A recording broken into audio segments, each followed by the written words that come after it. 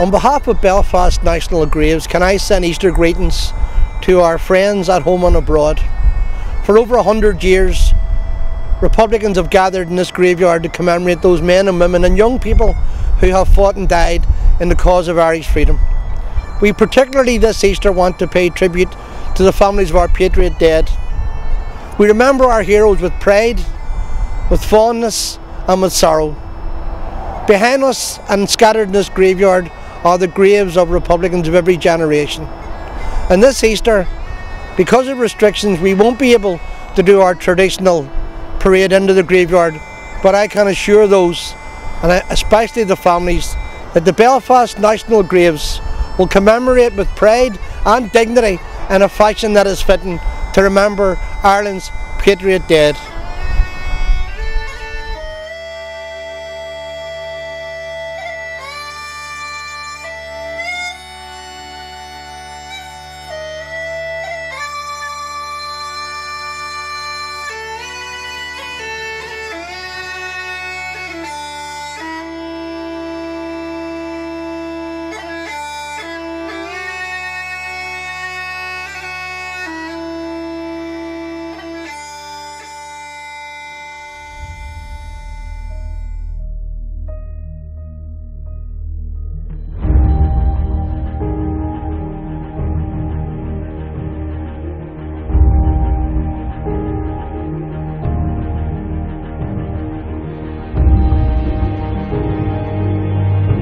Poblacht na hÉireann, the provisional government of the Irish Republic to the people of Ireland. Irish men and Irish women, in the name of God and of the dead generations from which she receives her old tradition of nationhood. Ireland, through us, summons her children to her flag and strikes for her freedom having organised and trained her manhood through her secret revolutionary organisation, the Irish Republican Brotherhood, and through her open military organisations, the Irish Volunteers and the Irish Citizen Army. Having patiently perfected her discipline, having resolutely waited for the right moment to reveal itself, she now seizes that moment. And supported by her exiled children in America and by gallant allies in Europe, but relying in the first on her own strength, she strikes in full confidence of victory. We declare the right of the people of Ireland to the ownership of Ireland and to the unfettered control of Irish destinies, to be sovereign and indefeasible. The long usurpation of that right by a foreign people and government has not extinguished the right, nor can it ever be extinguished except by the destruction of the Irish people. In every generation, the Irish people have asserted their right to national freedom and sovereignty. Six times during the past 300 years, they have asserted it in arms. Standing on that fundamental right and again asserting it in arms in the face of the world, we hereby proclaim the Irish Republic as a sovereign, independent state and we pledge our lives and the lives of our comrades in arms to the cause of its freedom, of its welfare, and of its exaltation among the nations. The Irish Republic is entitled to and hereby claims the allegiance of every Irish man and Irish woman. The Republic guarantees religious and civil liberty, equal rights and equal opportunities to all its citizens, and declares its resolve to pursue the happiness and prosperity of the whole nation and all of its parts, cherishing all the children of the nation equally, and oblivious of the differences carefully fostered by an alien government which have divided a minority from the majority in the past.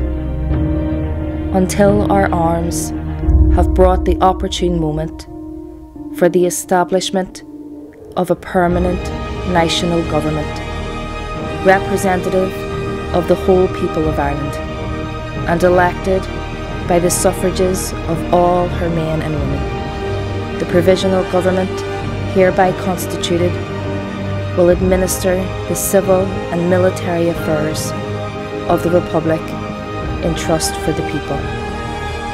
We place the cause of the Irish Republic under the protection of the Most High God, whose blessing we invoke upon our arms. And we pray that no one who serves that cause will dishonour it by cowardice, inhumanity, or repent. In this supreme hour, the Irish nation must, by its valour and discipline, and by the readiness of its children, to sacrifice themselves for the common good, prove itself worthy of the august destiny to which it is called. Signed on behalf of the Provisional Government, Thomas J. Clarke, Sean McDermott, P.H. Pearse, James Connolly, Thomas MacDonagh, Eamon Ceannt, Joseph Plunkett.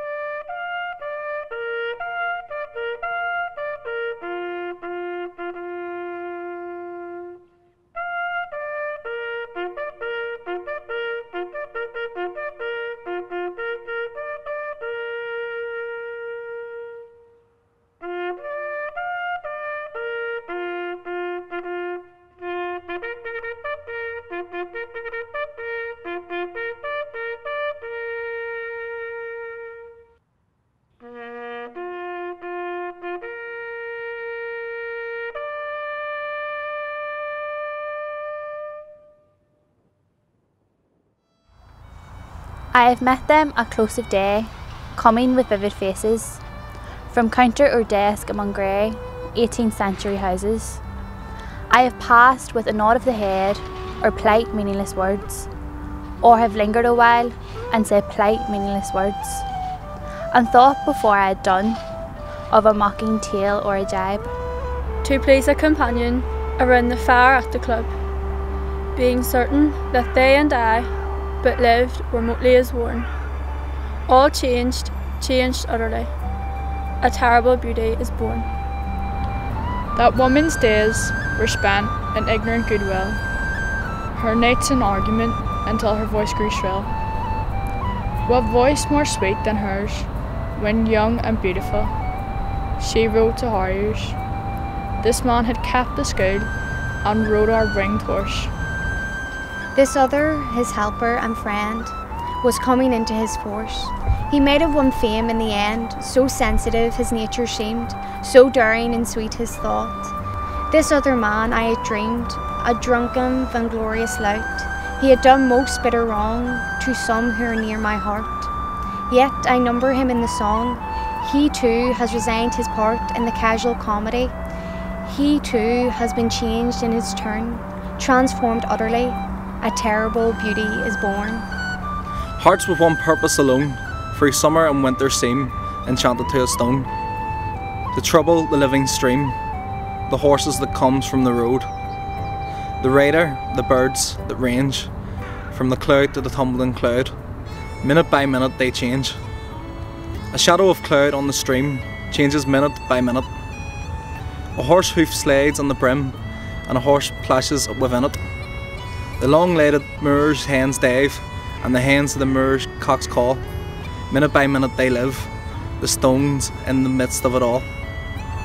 Too long a sacrifice can make a stone of the heart, oh when may it suffice? That is heaven's part, our part, to murmur name upon name as a mother names her child. When sleep at last has come on limbs that had run wild. What is it but nightfall? No, no, not night but death. Was it needless death after all?